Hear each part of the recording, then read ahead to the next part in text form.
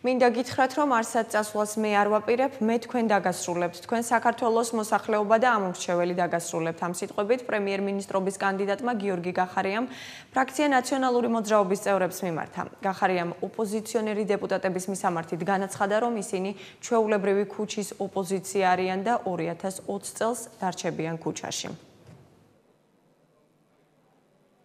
ის რაც ახლა ხდება, ეს არის ჩვეულებრივი ნაციონალური მოძრაობის სახე, ტყუილი, სიცრუე, როდესაც ხდება სიმართლის ჩანაცვლება, როდესაც ხდება მოდელირებული რეალობით ადამიანებზე ზემოქმედება და ამას თქვენ აკეთებდით არა მხოლოდ 9 წელი, ამას თქვენ აკეთებთ დღესაც. მე ერთი რამე გიდა გითხრათ. არსად წასვლას არ ვაპირებ.